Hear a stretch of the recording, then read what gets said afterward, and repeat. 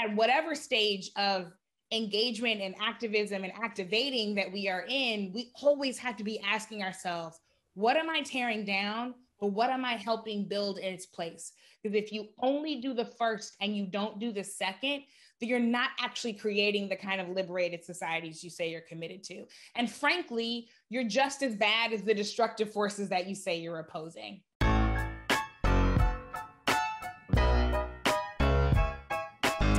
So we are talking to Brittany Packnett Cunningham. I heard. A lot of what I feel she talks about centers Yeah. around this idea of not having any fear. Mm, That change makers, inherently, by the fact that they're just change makers, Yeah. are meant to actually be a thorn. What do you think about that?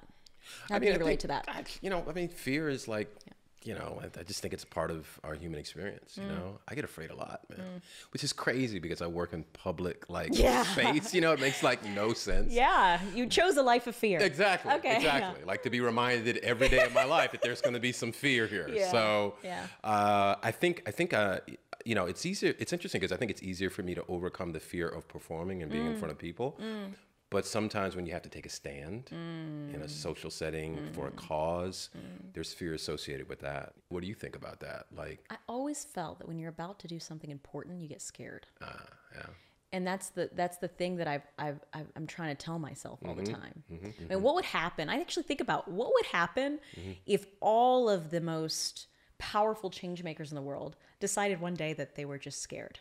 Like, Ah, yeah. where would we be as a civilization right Yeah. now? Yeah. hmm And I think some of her activism actually speaks to this idea of building things up.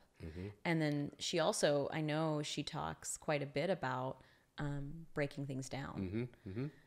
And I- I almost think that when you're just part of the building up, mm-hmm. you don't even need to worry about necessarily for breaking real, things. up. right? Things will break down on its own. Yeah, because you're building something, and all Yeah. the all the pieces on the side that are not meant to Yeah. meant to be there will just fall off. Yeah, I love that. That that's part so much a part of her focus. So Yeah. yeah, it's gonna be good stuff, man. Yo, I think we're almost about time. We should go. You wanna call call her or should I call her? You ready? I think you should call. Her. Okay, her. let's she, go. She would like to hear. From you. let's go. Brittany, it is so exciting to have you here. So glad to be here. Oh my goodness. Thank you for being with us. You've been doing all these things for quite some time. And you know, it would be really great to hear in your words mm. Mm. what you're doing right now and how you got there.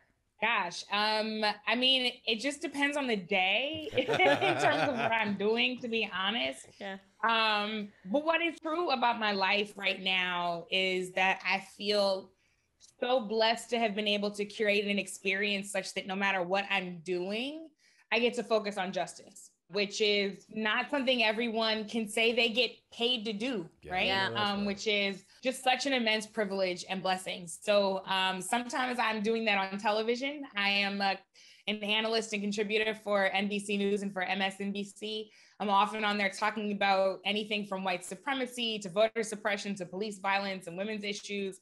Um, uh, sometimes I'm doing that on my podcast, Undistracted. We just closed out our first season. It was kind of wild to start a podcast in the middle of a pandemic, but you do what you got to do. It's an amazing Um, podcast. I listened to. It's amazing. Amazing. Oh, thank you Yeah, so much. so that means good. so much to me. Um, we really wanted to unapologetically take an intersectional womanist lens to the world. So no matter what we're talking about, that's the lens that we're looking at it through. And I, you know, after years as an activist, really intentionally decided to make a pivot toward media, not for the sake of being visible, because plenty of the work that I do in media is actually fully behind the scenes. Mm. It's because I realized very quickly that we needed to be our own storytellers. Mm. So I remember being on the streets of Ferguson and I would be out on the street and then come home and turn on network news, cable news. I would listen to the radio on the way and the the ways in which we were being intentionally and unintentionally misrepresented were deeply disturbing to me. The ways in which the freedom struggle of people who've been pushed to the margins uh, in this country and around the globe um, are intentionally left out of conversations um, really pushed me to not only say, how do I carve out a seat for myself and others like me at the table, but how do I build a new table? So if I'm learning how to make good news on NBC, how am I learning how to create the platform myself with Undistracted? Um, and so I just feel so privileged to be in a group of amazing women and non-binary folk who create that podcast and we're ready for our second season uh that coming later this fall and then the third kind of professional hat that i wear i'm vice president of social impact at BET I'm somebody who grew up watching BET, right? Like I remember watching yeah. Oh, yeah. Ananda Lewis oh, on oh, yeah. Teen Summit. Oh, I remember 106 & Park. You know what I'm talking about, right? Oh yeah. This is like a legacy mm-hmm. network for us. So mm-hmm. the opportunity to be able to help a company and a media space that I deeply believe in transition from just doing kind of corporate social responsibility, which is a fancy way of saying the folks write checks to charities, and that for so long has been the standard in corporate America, to really figuring out how BET can leverage all of its levers, its programming, its music, its reach across the globe, its, re- its reach into places that other networks don't reach, um, its ability to amplify and represent Black people from across the diaspora and identity spectrums um, to really figure out how we use every single one of those levers to make impact mm. and not just to write a check yeah. is a really beautiful experience. So I'm getting to do this media thing from all different angles, but all of it is focused on justice.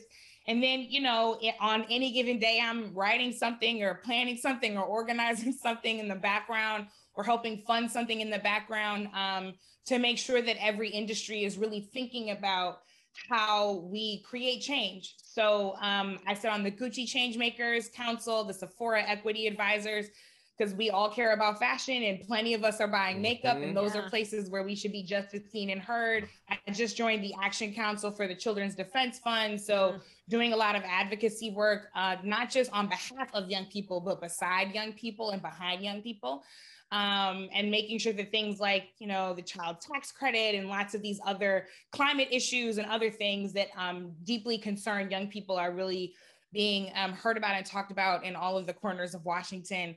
Um, yeah, that's what I do. I got here because I was raised by two people who uh, made it very clear that this is the work that you choose that, that we choose to do. This is the family business, and I'm I'm grateful every single day that I get to wake up and focus on the people who are least focused on. Mm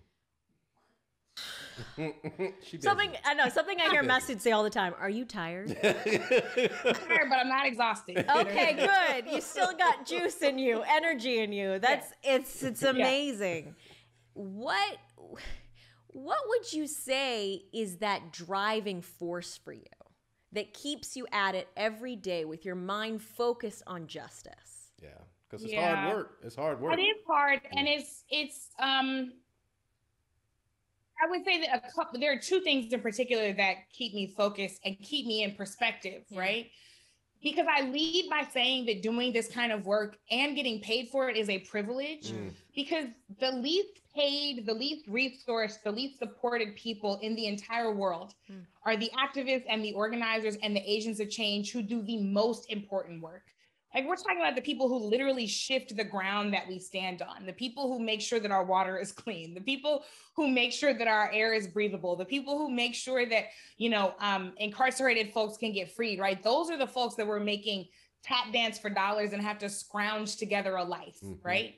Um, and so I feel grateful to have been raised by people who help me understand whether you make a lot or a little, this is work for us to do.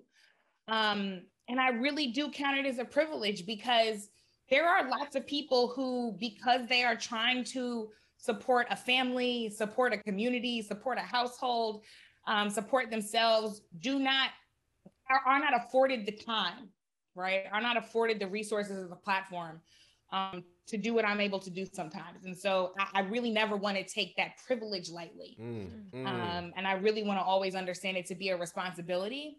I also just think like look, we get to do this in a time where we can have podcasts. I can sit in a nice air conditioned office and we can talk about the things that matter.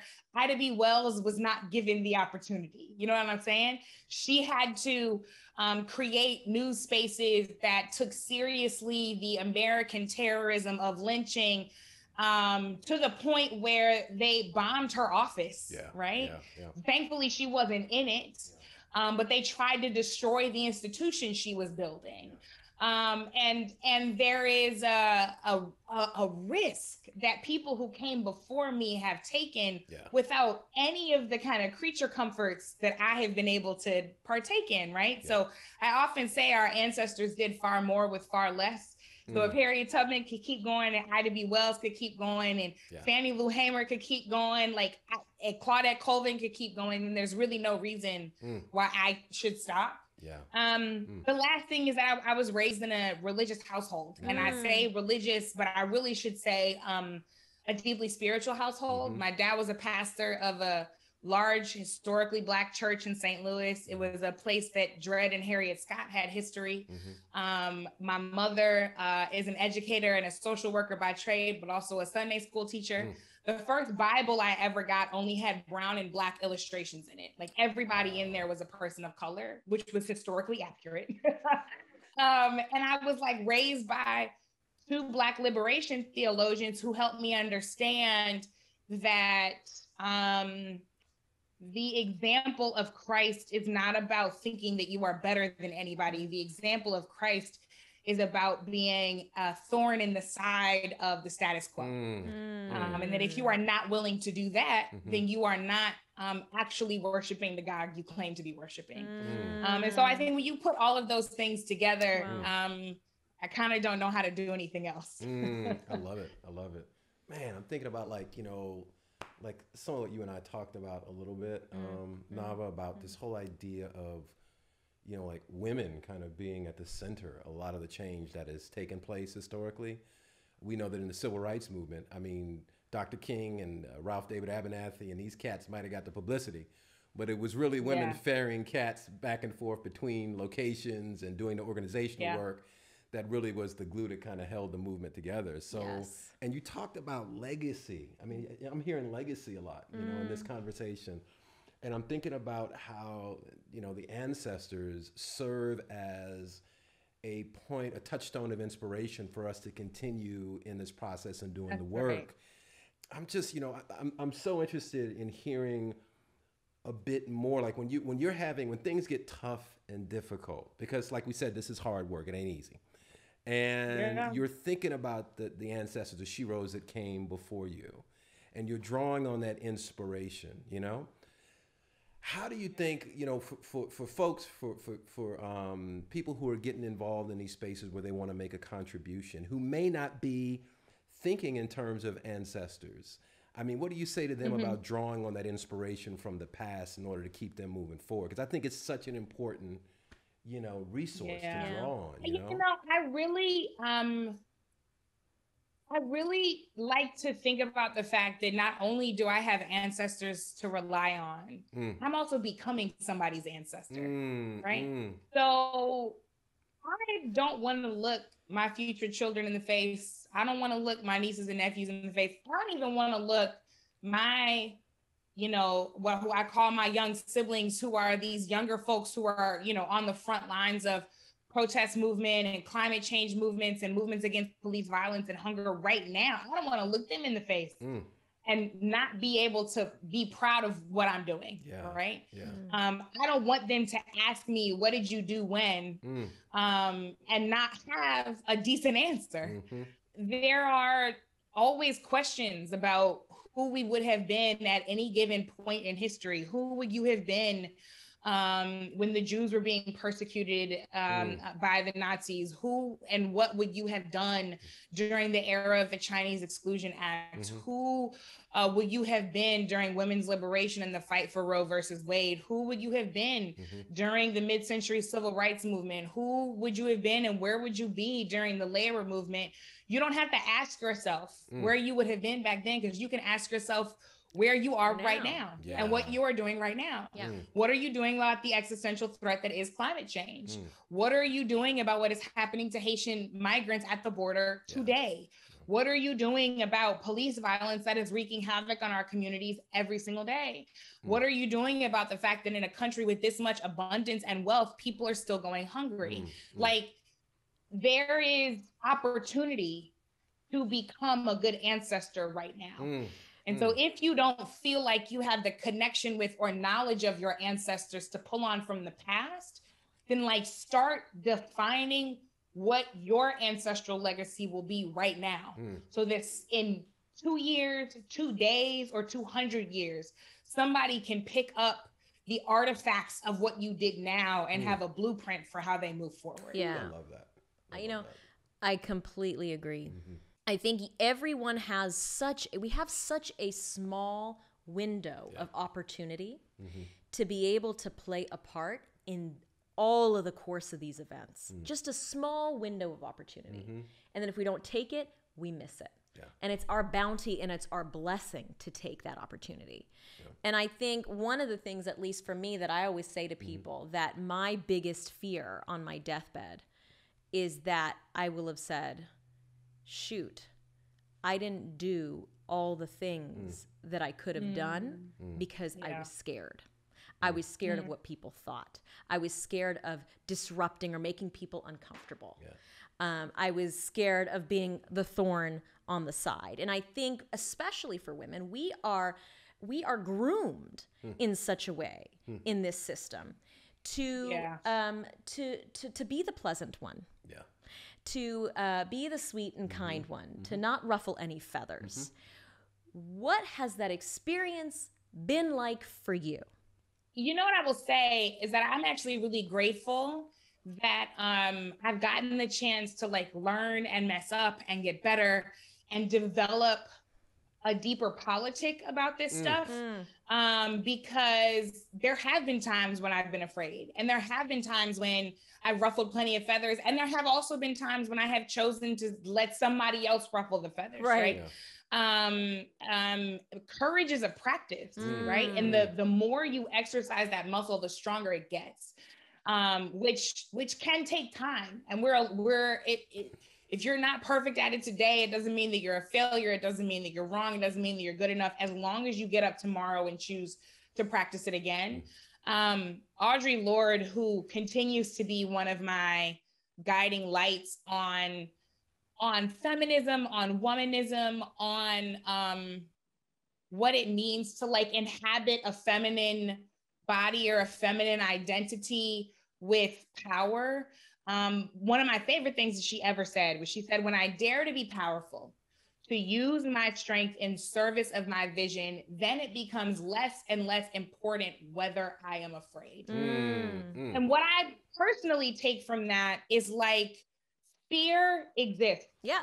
Fear, in a lot of ways, is actually a really good signal, right? Mm-hmm. We're supposed to have fear in our bodies because fear can be an indicator that we shouldn't go in a certain direction. You're walking around in the zoo, you should be fearful of sticking your hand in the tiger cage because you shouldn't do that. Mm-hmm. And fear is there to tell you, don't stick your hand in the tiger cage, mm-hmm. right? Yeah. Mm-hmm. So it's not like fear is something that we should expel from our bodies and our minds. It is a natural emotion.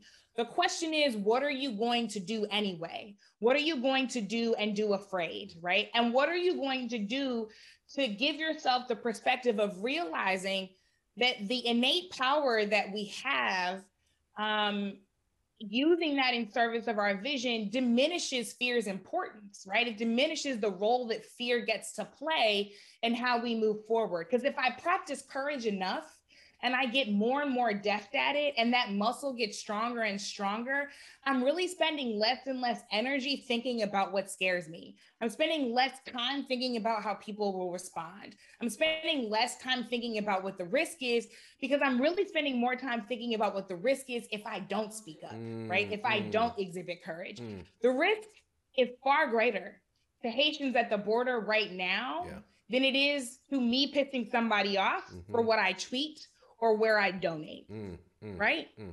Um, and so perspective about fear, I really think has been instructive for me, especially over the last couple of years, as I've tried to really unlearn this to your point, um, societal mandate that as a person who identifies as a woman and as a black woman, that I uh, choose not to be confident or to be powerful because it annoys people and it bothers them, right? Um, and so practicing courage and learning how to diminish fear has been an important exercise. I think a lot of people think it's easy for people like me, and it's really not. I wish you could see what my inbox looks like. It looks wild, and it's not just from strangers, it's from people I know.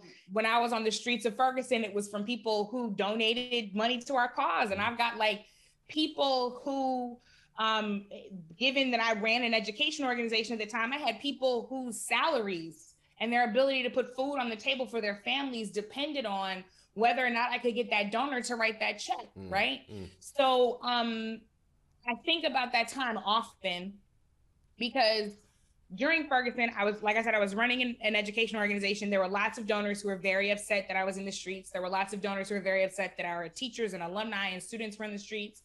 Um, and they were, they were like, this is not our business, right? This is not our fight. Mm.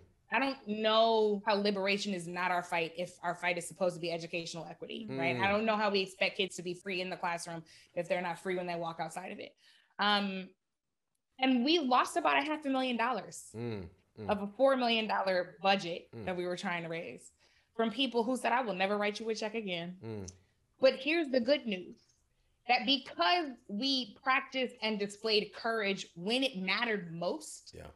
We ended up raising more money than ever before in the 10 year history of our organization. Mm. Because while there were people who stepped away and said, I don't believe in what you're doing, there were more people who stepped up and said, I believe precisely in what you're doing. Mm. Right. Um, and so, like, I could have been afraid. I could have looked at those emails and those stopped checks and said, it's the risk is too high. I got to stop. Instead, we got creative and we started asking people, different people that we had never hit up before. And those people were ready to stand in solidarity with us. People that we had never even met before from mm-hmm. across the country were sending us things because they saw the kind of courage that our team was displaying, um, and frankly, the kind of courage that our students were displaying. Mm. Um, mm. and so, like, I think about that time often because when you do the right thing, the right things will come to you. I truly and firmly believe that. Yeah. Um, it may not always be in the form of money. It may be in the form of support. It may be in the form of care. It may be in the form of a safety net. Um, but I, you know, it's never the wrong time to do what's right. And I think that um, choosing choosing to do that, especially as a woman of color, does not come without risk, but the reward is in the change we seek. Mm. Man, I love that. Wow. I think it's so helpful to mm-hmm. know, and I don't know about you, Masud, mm-hmm. but it's so helpful for me to remind myself because it speaks to this principle, this idea of that as we're all walking this path and creating this new world, new world order, whatever we want to call it, there are two forces at play there's this integrative force mm. that you're very much a part of where we're bringing people together and then mm-hmm. there's this destructive force mm-hmm. but what people don't realize that this destructive force it has to occur because things have to destruct mm. so that something can be created and yeah, there are these yeah. these kind of movements that are happening forces. exactly yeah, exactly forces that are happening in parallel with one another um, and and sometimes for me at least it's helpful yeah. when I see that destruction and when you when you see that negativity yeah. um, to say this is part of the plan like this is part of how it's yeah. supposed to happen and go yeah yeah and that's the natural resistance mm-hmm. to this greater peace that we're trying to create mm. Yeah I think that that point is so well made I often say that we uh, we have two hands um, or whatever, uh, one to battle and one to build, mm. right? Mm. That in order to create the space to build something, something has to be torn down. Um, but one in the tearing down, we cannot forget to build. Because I think that there's a sexiness associated with the destruction of something, mm. right? I mean, it is it is the it's the energy that you see people have strangely when their sports team wins. Mm-hmm. I, I, don't understand, mm-hmm. but it's the energy behind smash the patriarchy. Mm. Does the patriarchy need to be smashed? Absolutely. Yeah. Mm-hmm. But what gets left if all you do is destroy? Yeah, right. Exactly. You leave people with ruin. Yeah. If you don't create new practices, new ways of being, new institutions, new structures, new curriculums, new language, new opportunities. If you don't create all of that stuff in the place of what you smashed, yeah. All people will do will move will be to move to their lesser defaults and create a new similarly inequitable status mm. quo, mm. right? In order to create equity and liberation in the world, we have to be deeply intentional. Yes. Mm. Mariame Kaba, who is an incredible prison abolitionist who's been working for a very long time, is a fantastic book people should read. She says all the time, abolition is creative. Mm. That people think we just want to close jails and that we just want to reconstitute public safety and that we just want to defund the police. And it's like, yeah, we want to do those things, but we want to create things in its place that truly keep people safe, that truly give people the mental health care that they need, that truly give people safe housing and safe communities, that truly help people restore justice, right? That truly help people understand justice as something beyond just punishment and the taking away of things. That truly um, gives us the space and opportunity to create a world where we're not it, we don't have to just punish people for crime because we're actually preventing crime from happening in the first place because people have what they need Yeah. so much crime that we experience is crime of lack right it's folks who are creating um, uh, black markets and industries because that's the only way that they can make money, right? Why? Because their education might have been piss poor, their opportunities to enter the, their chosen field may have been limited because of their race or their gender or their economic status or their nationality or their nation of origin. Like there are reasons Mhm. why we end up in these situations. Mhm. And what abolitionists like Mariame Kaba are saying, instead of constantly picking at the symptoms, let's actually get at the virus. Let's Right. get at the root of Mm. the problem and solve it from there, because that's how you create truly safe communities from the ground up instead of over policing them from the top down.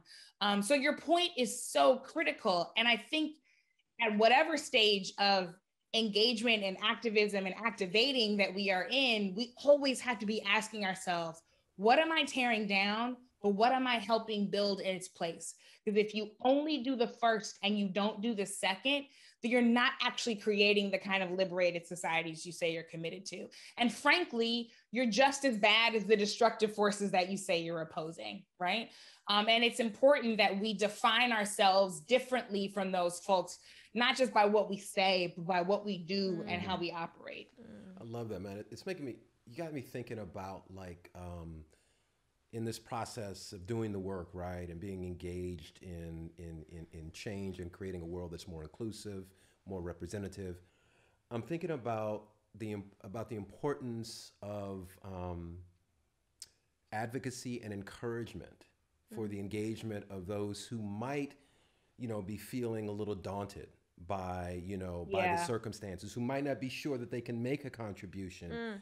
And I'm thinking about the way like we stigmatize like different groups, like, you know, particularly black and brown folk and particularly women who are twice marginalized, right? And I'm thinking about like folks who don't follow a traditional path to like make a contribution. Mm-hmm. Maybe they don't go to school. Maybe they go to school and don't finish. Maybe they, they get pregnant out of wedlock. Mm-hmm. And we have diminished them and their capacity or their ability in our own minds to make a contribution because of a circumstance or a choice that they've made and they found themselves in. So they just become the subtotal of the decision that they've made. And we don't see a larger Yeah. context for their engagement. I wonder if you could like talk to that because I think that's something that's very important for us to like address in our society. I would love to talk to that because I always think about the fact that anybody who changed the world never fit in, Mm, right? mm. I Yep. truly, I mean, you can look at any industry, right? Like Steve Jobs did not fit in. I mean, he wore the same outfit every day. so he didn't actually have to think about extraneous things so he could give us the iPod, right? And I, I mean, I'm, I'm being I'm being funny here, but if you really think about anybody who revolutionized anything, right? Lil Nas X, revolutionary, right? And he does not fit into anybody's box. And in fact, him defining himself for himself makes so many people deeply uncomfortable. And it has nothing to do with Lil Nas X. It has everything to do with their own insecurities, Yeah. right? Mm. And so when we divorce our own feelings of self worth from what folks have to say about us, because we realize that often people's unconstructive criticism of us, destructive criticism of us is about them and not about us. When we can, when we can really get that through our minds and through our spirits, then we can decide to be the unique beings that were created for a purpose bigger than ourselves. Yeah. Um, there is work for each of you to do that I am not capable of. Mm. There's work for me to do that you are not capable of because we are completely different.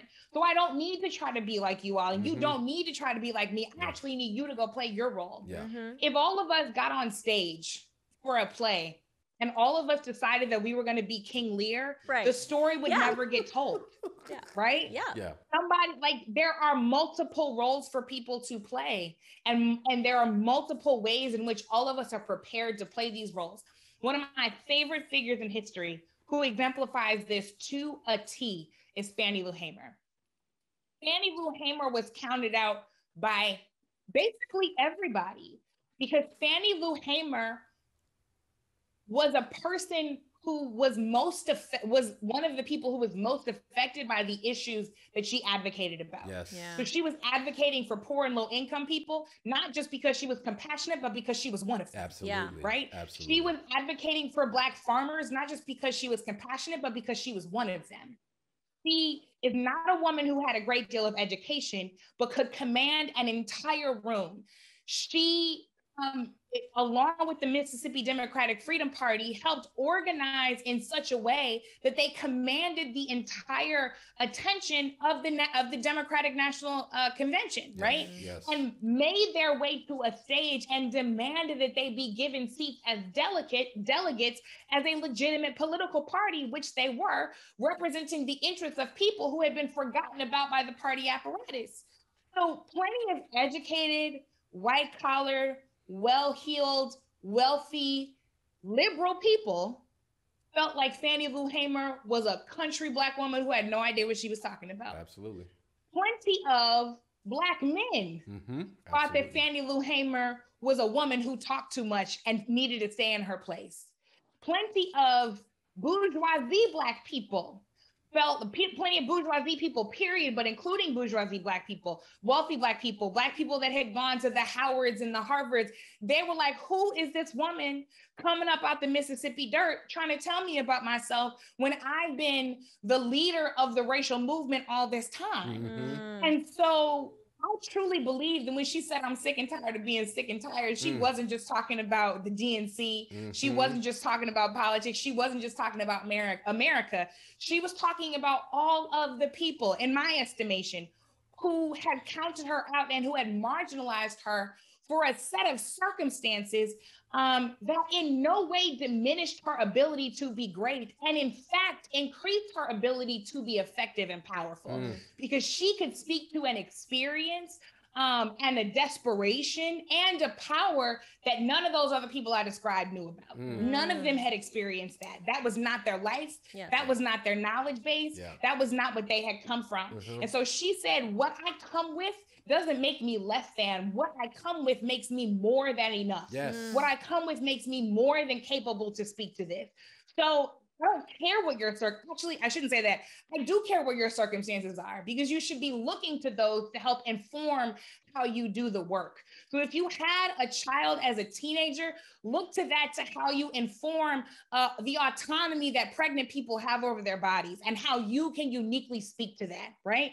If you are somebody who grew up in poverty, look to people like Reverend William Barber and the Poor People's Movement to help you understand how you can translate your lived experience into real power because that's what it is. This idea that we all have to follow some kind of traditional pathway is what, frankly, will be successful in making all of us robots.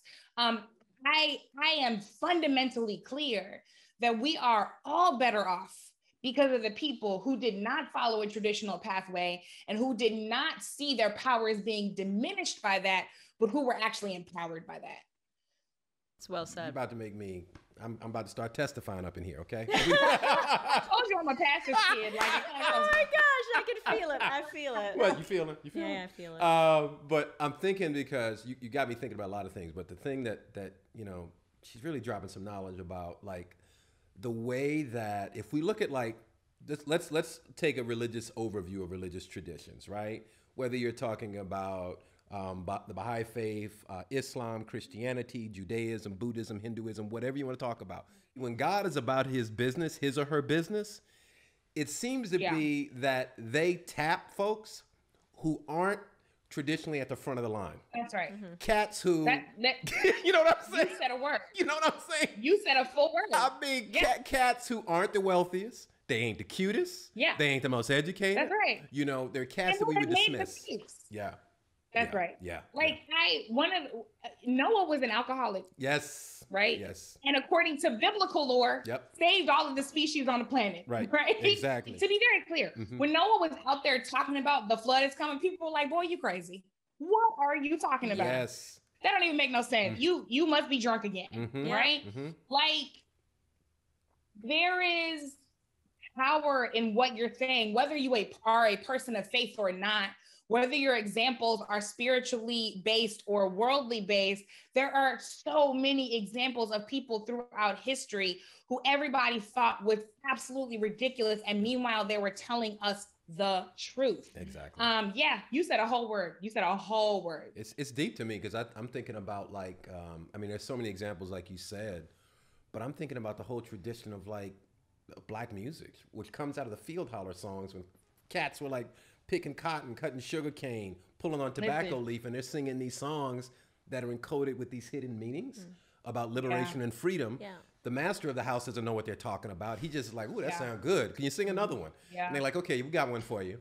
And out of that, out of that, these people who were the most marginalized, the most dehumanized, the most objectified in our culture, create this incredible tradition of music that has transformed you know um, the cultural landscape of our country. Yeah, because it's not just black music; it's American music. Thank yes. you. It's country, yes. it's bluegrass, Thank it's jazz, you. it's pop, it's hip hop. Absolutely, yeah. absolutely. So it's so powerful. Wow.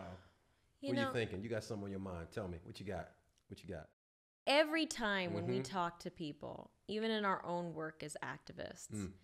I always try and take a look at what is at the root of mm. of all of these issues mm-hmm. because when we talk to activists they're not just activists necessarily in one area they're yeah. they're working on so many different fronts yeah. and like mm-hmm. exhibit a right here mm-hmm. with brittany mm-hmm. all of these injustices are tied together yeah mm-hmm. because of this lack of understanding that we are all one mm. that your mm-hmm. destiny is tied to mine yeah that's we right. might look different, mm-hmm. come from different places, have you know, identify with a different gender, but at yeah. the end of the day, yeah. we all have these souls that are interconnected. Yeah. That if there is oppression on one side of the globe, it impacts me. It impacts me. You think it doesn't. And I think that's what the problem is. It's this apathetic just energy that exists that we've decided to adopt for convenience. Yes, yeah. Yeah. But when there is oppression on one side of the globe, it will ultimately affect you. Wow, it's she, has got me when she's she just dropped some knowledge because it's got me thinking about that quote from John Donne, the poet. We're all caught in an yeah. inescapable network of mutuality tied together forever in a single garment of destiny. Mm. And then Muhammad Ali in 1975 distills that whole thing at Harvard University when they say, Yo, champ, give us a poem. He thinks for a minute, he says, Me, we. I mean, that's, that's it. Like, boom, there it is. That's right. It. That's it. What's beautiful about it, um, is that a it gives us all an opportunity to be great, as the king said, because we all have an opportunity to be to serve rather. But it also helps us recognize that our diversity isn't a weakness, right? And I don't mean that in the like corporate like you know, you see the company put up the Instagram post that like, you know, diversity is the best of us, and then like they go and do something anti-black the next day. That's not what I'm talking about. I mean, in such a way that if we are wise enough to create solutions, community solutions, family solutions, policy solutions that work for the most affected by a problem, then we will come up with solutions that actually work for everybody. Yes, mm. yes. I think often about disability in this way, right? When you talk about the fact that all of our faiths are tied uh, together, mm-hmm. there were a lot of disabled organizers and activists and advocates and and and voices and media mavens and writers who, for a long time, had been talking about the kind of accommodations that should be made for people every single day, the kind of flexibility that people should be able to have that I can do this job from home, so I should be able to do it from home. I should be able to have visual aids, and that visual aid should have closed captioning. I should, all of these things, right? All of this flexibility and these accommodations that people thought were disabled folks asking for some kind of special privilege, mm-hmm, right? Mm-hmm. And then along comes COVID. And suddenly, all of us, whether we are temporarily able bodied or not, needed those accommodations. No, that's right. Yeah. Suddenly, all of us were saying, Can I do this from home? Suddenly, all of us were saying, Y'all can't get on Zoom for this. Mm-hmm. Suddenly, all of us were saying, you need to give people broadband access so that they can actually tune into the things that you want them to tune into and get the information and access that they you say that they're supposed to have. Mm-hmm. Well, wait a minute. Disabled people were talking about this the whole time. Yes. And you were saying it was a special privilege. But if we had actually been following the rules of the ADA this whole time, if we had actually been accommodating the needs of disabled students and disabled workers and disabled people, if we had actually been creating those accommodations in such a way that we understood how they could function efficiently, we would have been ready. Yeah. Yeah. A lot more ready Mm. Yeah. for the kind of interruption that many of us were not prepared for. Yeah. Mhm. And a bunch of disabled people were like, I've been telling you that the whole time. Mhm. Because what they were saying to us all along was that your fate is bound up with mine. Whether you are in a wheelchair or not, whether you have cerebral palsy or not, whether you have mental health issues or not, your fate is bound up with mine. And it shouldn't take a pandemic to make you realize it. Yes, Yeah. yes. This like gets really at the heart for me of like the whole issue we're having right now with the, the prevalence of institutional racism, um, the sickness of institutional racism, I should say, um, and the prevalence of white supremacy um, as it is, continues to exert this like crazy influence on every facet of our society. And I really think, you know, I'm thinking about Baldwin and like, I think it was like 68 or 70 Yeah. or something. Baldwin sitting on this talk show, and and and um, I think he's being interviewed by Dick Cavett or somebody else. And um, Baldwin says, you know, it's not a matter of saving the natives; it's a matter of saving oneself.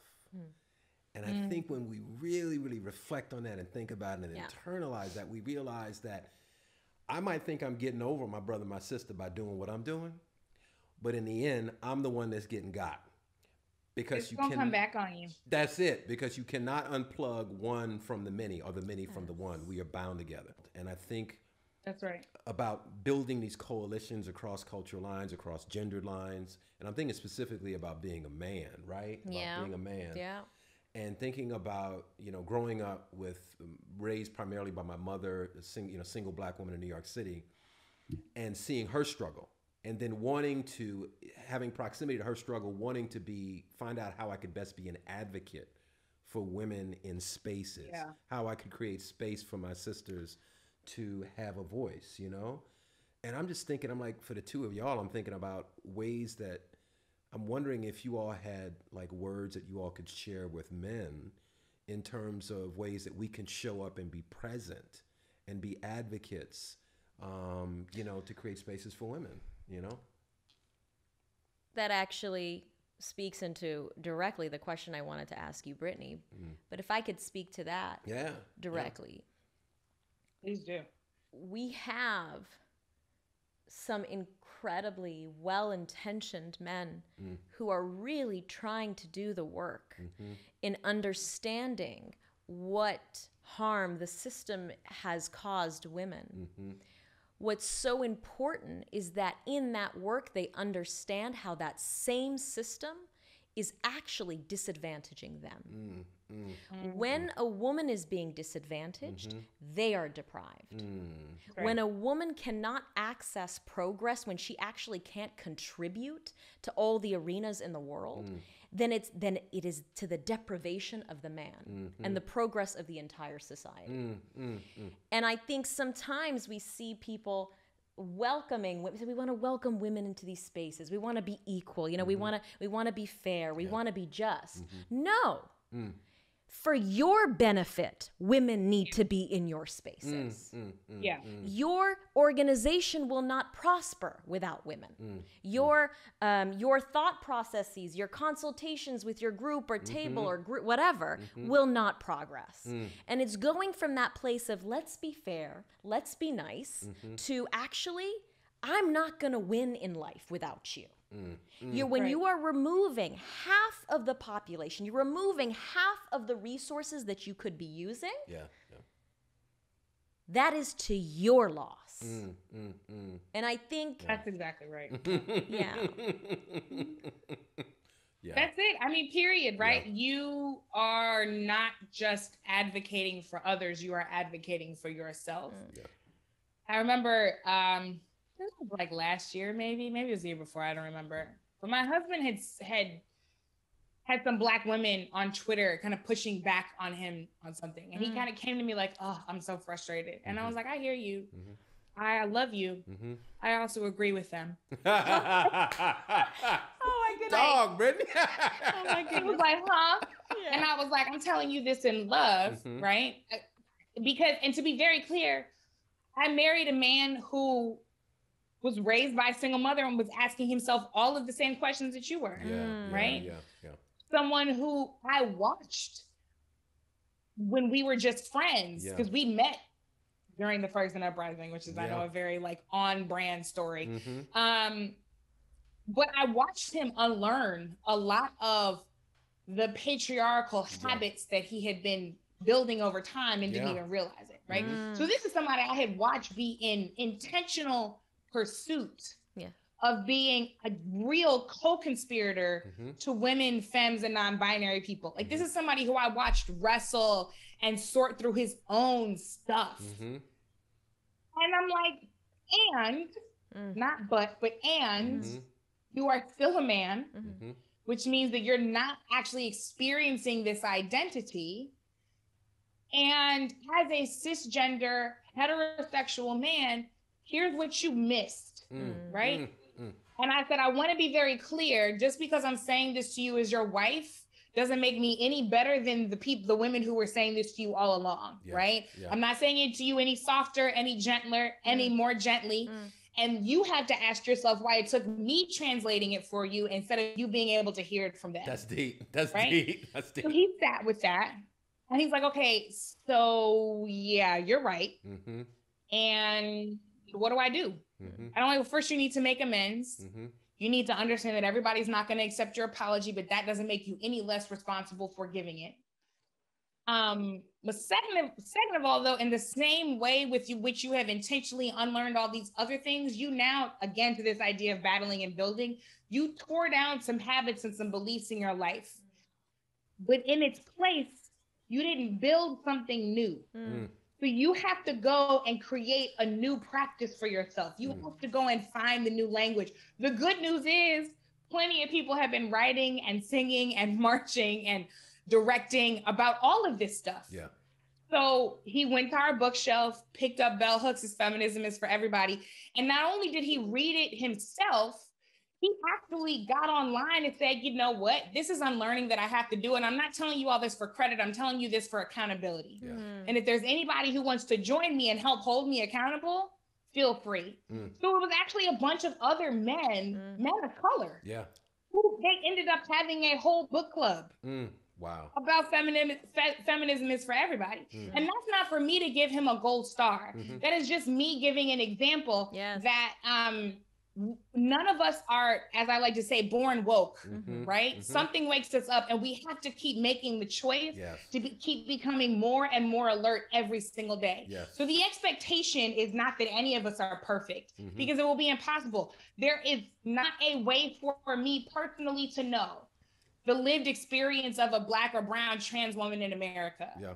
But I do have the ability to be corrected. Mm-hmm. I do have the ability to listen and to learn. Mhm. And I do have the ability to change my behavior, right? And to set and build for myself new practices.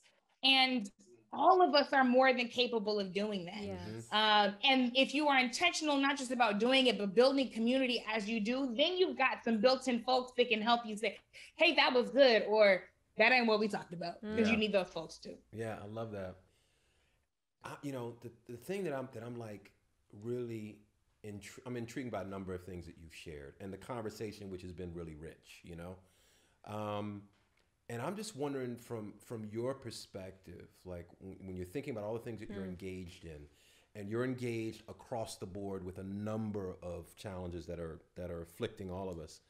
What's the what's the vision? I mean, when you come to the end of your journey and you look back, what does the change look like that you envision? What is that what does that look like for you? Yeah, I mean, I believe in um, shooting for the stars and landing on the moon. I love it. I love so it. if I'm if I'm shooting for the stars, the vision is ultimate liberation, Mm. right? And what I mean by that is a world in which everyone's dignity is fully honored, Mm, Mm. everyone's humanity is fully recognized, mhm, everyone has what they need not just to survive but Mhm. to thrive, mhm, and everyone gets to be and be their own genius without mm. being seen as a threat. Mm. Um, mm. So that's the stars. I love that. I love um, that. For me, the moon, right? Like at the end of at the end of my time, yeah, is that people in and of themselves will be in the constant practice of harnessing their own power and um, leveraging their own tools to make that happen. Yeah. I want to live in a world where everybody is in pursuit of that, where everybody is working on that in their own corner, in their own way, with their own gifts for their own purpose. Yeah. The moon for me is that we have built the biggest choir for justice and that we sing this song unrelentingly mm. all the time and mm. always together. I love that. I feel so committed to trying to make sure that when people experience me, mm-hmm. however it is, mm-hmm. that they walk away with more truth and with better equipment. Mm, mm. Um, that doesn't mean my equipment, mm-hmm, right? That mm-hmm. means more able to use their own equipment. Um, I just want all of us to know that we are fully equipped to build the kind of world that we deserve. Mm. Um, and we will get to that world much faster if we all use the equipment we got to make it happen. Wow. Uh, it's just been so rich. Just I appreciate you so much. Just your insights. I appreciate your oh, advocacy. I appreciate you all. Work. Thank you for this it's platform that you all have created. Beautiful, and um, I love your focus on justice. You know, Dr. King said. Uh, until justice rolls down like waters and righteousness like a mighty stream. Which qu- quoting uh, Amos, of course, from the Old Testament. That's right. But um, yeah. we want to know if there's like uh, an organization as we're thinking about practical steps for people who want to get active and engaged is there um organization yeah or even steps like steps just someone you, watching yeah, that can exactly. go you know what i can do this yeah. or i can do that yeah mm-hmm. to take yeah. us from the from the idea into the actual practice of yeah mm-hmm. um so I, I one important step is to always as was already said be in an intentional pursuit of knowledge i already talked about feminism feminism is for everybody by bell hooks where do we go from here community or chaos mm-hmm. uh, by dr king is an mm. excellent book yeah. mm. to really kind of wrap your arms around the context that we're working in and how we have to do this work um, pedagogy of the oppressed by paulo freire it's an incredible book yeah. to really help give global perspective on the fact that anything we're struggling with in america mm-hmm. is not just us and to ourselves and that our fates are bound up with our siblings all across the globe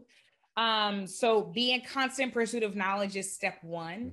Um, I would say that step two um, is to find and build community. Mm. Yeah. So there mm. are certainly national organizations mm-hmm. that deserve your support and respect um, the movement for Black Lives, the Poor People's Campaign, Black Voters Matter.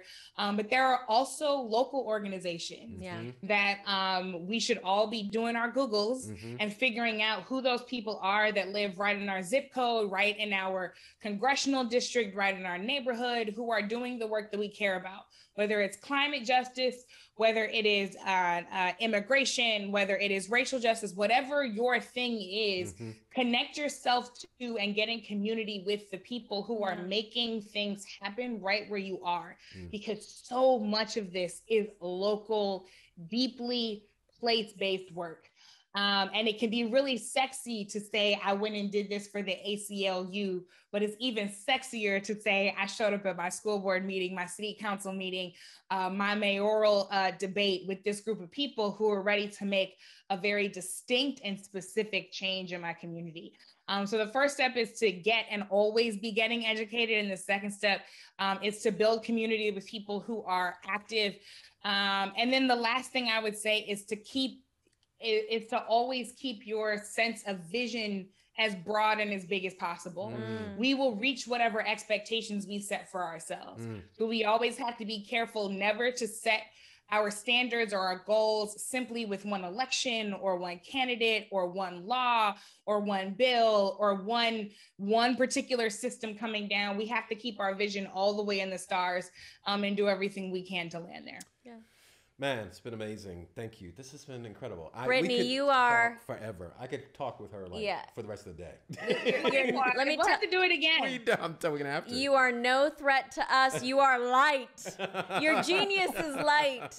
That's very kind. The feeling is mutual. Thank you for sharing this space with us. Thank you for listening to us too, and Yeah. thank you just for being on this journey with us. Sending you love, Thank sister. Um, again, praying for you, and, and I know we're going to continue to hear amazing things Yeah. about the advocacy that you're involved in. So thank you. I appreciate that. it. Thank you. Take Bless care, y'all. sister. Peace.